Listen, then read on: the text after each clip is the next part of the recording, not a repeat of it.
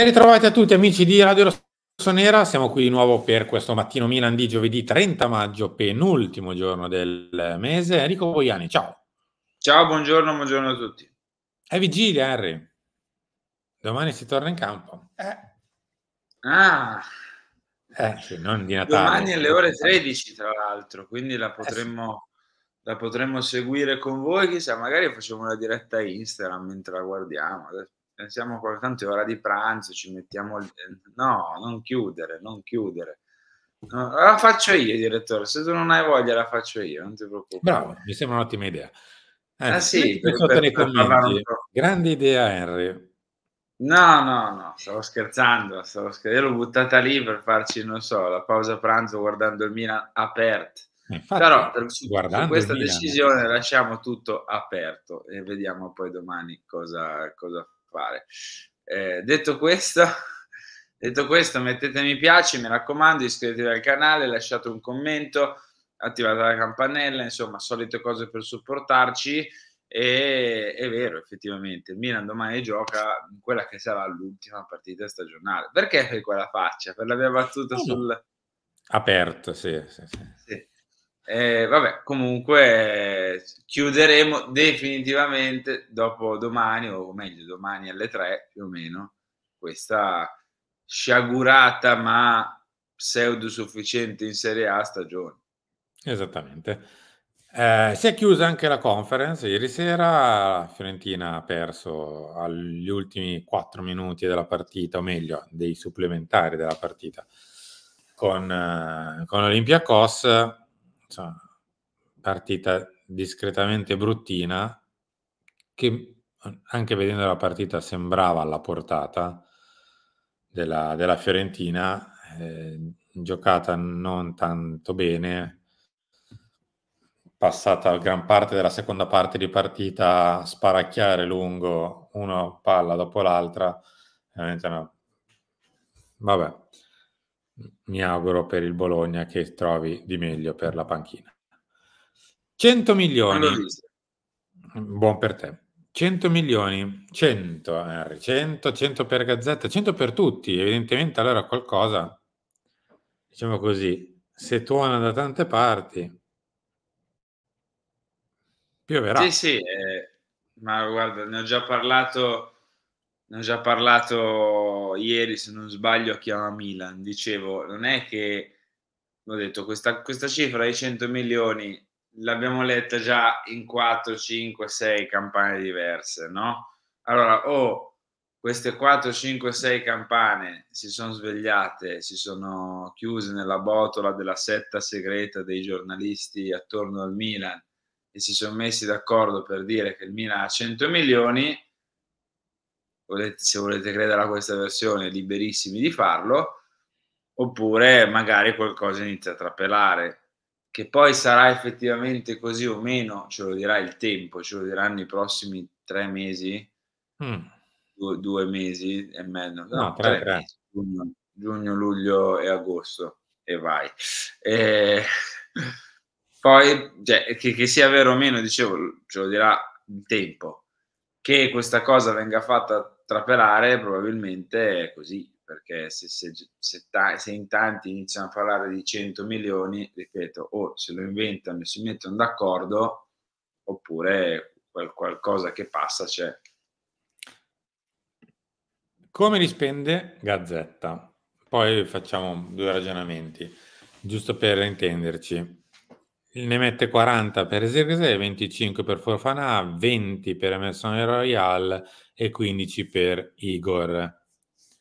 Sì, se vi suona familiare, è proprio quel, di, quel Igor lì, quello della Fiorentina, quello dello Spezia di un po' di stagioni fa, quello che lascerei do, dov'è, credo al Brighton, se non ricordo sì. male, lasciamolo lì Grazie. Sì, anche perché cioè, i 15 di Igor probabilmente dovrebbero finire nelle commissioni per Zirkzee, quindi...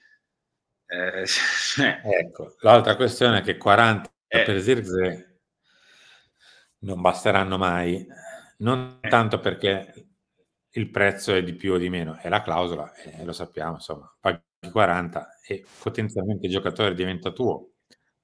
Un però, bisogna pagare le commissioni alla gente, chi ha Jorb Chan, che quantomeno sono a doppia cifra. E quindi già da 40 si passa a 50, 52, 53, 54? Che faccio? Lascio? 55? Eh, sarà una bella cifra di commissioni. Più, vabbè, l'ingaggio, quello è un'altra questione, è un altro tipo di costo. Però, insomma, sono, sono più di 40. Cioè, il rischio che di quei 100, metà li saluti con, con Zirgze. Sì, eh, poi...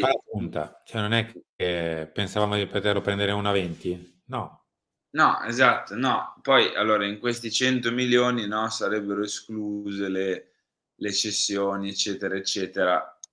Io, io dubito, io mi immagino che al limite arriveremo a quella cifra con anche le cessioni varie ed eventuali di, di De Ketelare e di Salmacher. Ma detto ciò, ehm, poi bisogna anche capire chi comprare non solo in termini di Ruoli, perché i ruoli credo ormai li sappiamo, attaccante, mediano, terzino destro, difensore centrale. Sono queste le quattro aree in cui volendo possiamo fare qualcosa, no? Mm. Bisogna capire se i profili che vengono fatti e che vengono, diciamo, messi in primo piano in questo momento sono quelli giusti. Mm. Perché comunque parliamo sempre più o meno di ragazzi giovani. Sì, qualcuno ha un un po' più di esperienza. Emerson Royale è uno che è già stato al Barcellona, al Tottenham, Fofana è in pianta stabile con la Francia e, e giocherà anche i prossimi europei, per carità, però ancora io non vedo quel nome un po' più di esperienza che per me è fondamentale. Eh, poi magari uscirà col tempo, poi magari arriverà più avanti, non lo so, quando si creano più occasioni di mercato però stiamo sempre andando su giocatori molto molto giovani. Eh, o comunque tutti indubbiamente under 30 abbondanti. E, e io onestamente quest'anno non lo so cioè quest'anno per me almeno un giocatore di, proprio di peso a livello mentale serve capisco che Zirkzee sarebbe il colpo eh, diciamo, a effetto per l'attacco perché è giovane, perché è un giocatore anche molto in hype in questo periodo, ha fatto una stagione al Bologna da protagonista, cioè, capisco che quello sarebbe il colpo ad effetto, però io vorrei più vedere quest'anno oltre al colpo ad effetto, perché l'umore un po' dei tifosi va risollevato dopo la scelta dell'allenatore, vorrei vedere anche un pochino il colpo di peso, cioè il colpo di, di giocatore tipo? che... Cosa? Ma tipo? No, io il nome non ce l'ho, ok? No. Potrebbe essere il, il, il, cross di turno, no? Passami, passami mm. il, il, termine, adesso cross, l'Ummels, ok? Cioè, il giocatore che è uno che ha già fatto 7-8 anni girando magari l'Europa o stando anche in una squadra sola, ma con giocatori di altissimo livello, competendo per mm. trofei, mm. cioè giocatori che cioè, di, di, peso, ok? Modric. Poi non ci serve Modric, ok? Perché probabilmente ci serve un giocatore a centrocampo con mille altre caratteristiche diverse. Però, caspita, un giocatore che dici, cavoli, questo mi dà una mano mentale anche a tutti gli altri ragazzi che ho. Eh. Ma guarda, ehm io penso che più o meno la soluzione ce l'abbiamo, non ti dico davanti agli occhi, ma quasi, cioè eh, per le posizioni dove andremo a operare cercando i titolari, non penso che andremo a fare una scelta del genere perché, perché se prendi uno di 27-28 anni, comunque nel pieno della carriera, eh, il prezzo è alto, non è che il Milan non voglia spendere, ma difficilmente l'abbiamo visto spendere una cifra alta per un giocatore di 28-29 anni. Ne ha presi eh, di giocatori sui 30, poco più, poco meno, ma difficilmente spendendo grandi cifre. Sì, ma neanche Quindi, pochi, proprio pochi, però dai. Sì, ne ha presi anche pochi. Però ti dico, per me la soluzione più o meno ce l'abbiamo davanti agli occhi, cioè non sarà terzino destro, non sarà il centrocampista centrale e non sarà la punta, cioè i tre possibili titolari del ruolo nel prossimo mercato. I giocatori di quel tipo lì probabilmente andranno presi e spero che vengano presi per chi è che esce, chi è che entra, cioè un altro difensore centrale da aggiungere all'otto e Giroud che esce, Giroud che entra. Non più il titolare, ok, però diciamo così l'altra punta insieme allo Xerxes di turno che può essere lui quello che ti dà un pochino più di esperienza.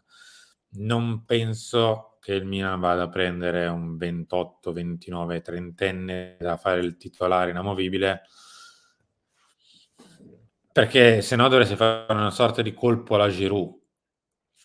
E di Giroud no ma io mi auguro che sia come dici tu eh, cioè che, che, i vice li vadano a prendere così. La mia paura è che non accada neanche quello perché se parliamo di Igor se si parla di come secondo attaccante Jovic o Ghirassi l'idea non è quella evidentemente cioè eh, devono no, essere altri non è, non è, un capriccio eh. cioè non è che si voglia per forza giocare con qualcuno che è vicino ai 30 perché così è divertente. Ci stanno simpatici i trentenni anche perché ma non è, non è neanche una questione di età.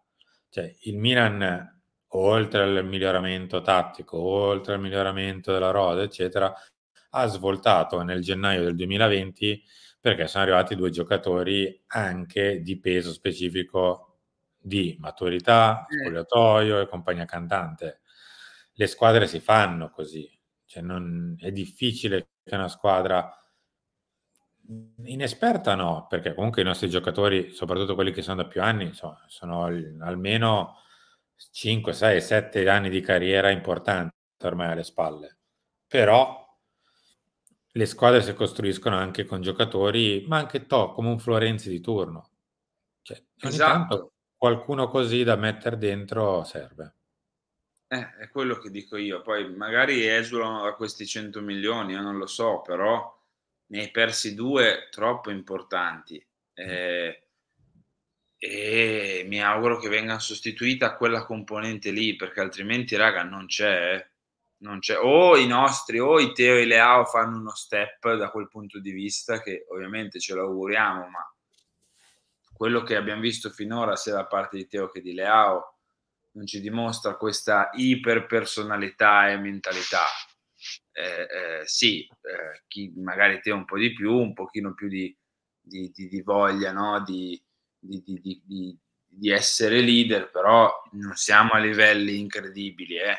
Mm. Eh, e quindi questa cosa va, va presa, va, va, va sostituita, cioè, senza se, senza ma. Va bene, vedremo come il Milan spenderà questi 100 milioni, Harry. Tanto eh. da lunedì ricomincia obbligo di riscatto. Eh, infatti, volevo farti vedere, stavo per dire, sembra una puntata di obbligo. E invece... Vabbè, è, è, è, più o meno così. Ovviamente non è che poi si può iniziare a fare nomi, cifre, eccetera, di mercato, al di là di Zirese di turno, che è forse l'unico vero nome spendibile in questo momento, cioè di quelli che correttamente possiamo mettere sul, sul piatto perché è, è, è, un giocatore che piace ed è stato trattato ed è trattato. Poi per il resto, insomma, siamo ancora al 30 maggio, quindi fare ancora già tutti i nomi di mercato per spendere i, i famosi 100 milioni è un pochino presto. Al netto del fatto che in questa ipotetica cifra da 100, che magari 110, magari 80, magari 120, chi lo sa, lo vedremo strada facendo anche rispetto alle cessioni, magari che ci possono essere, non so, il mercato non è nemmeno iniziato, 50 minimo tra clausole e commissioni vanno via per la punta, se fosse Zirese, se fosse Sesco vanno via 65 più, se fosse altro più o meno siamo lì, non è che si scappa, a meno che scendi di livello, scendi di categoria e e fai un tipo di ragionamento molto diverso, come o un David ha un anno solo dalla fine del contratto, o boh, di Giroud tipo in giro non ne vedo onestamente. Quindi, no, non, non penso sono. che il Milan faccia quel tipo di ragionamento. Cioè, non, non, non, conosco la situazione di Benzema, ma credo che l'ingaggio sia decisamente troppo alto per il Milan. Cioè, o decide lui di, di giocare al Milan un anno e dice, vabbè, datemi quel che volete, oppure la vedo un po' complicata. Ecco. Va bene Harry, grazie, ciao. Ciao, buona giornata a tutti. Ci vediamo tra poco per Chiama Milan, per Lunch Talk e in serata a una delle nostre clip. Ciao a tutti. Se trovo la sigla, eh, se no altrimenti restiamo qui. Eh, Trova. trovala però, dai. Vabbè.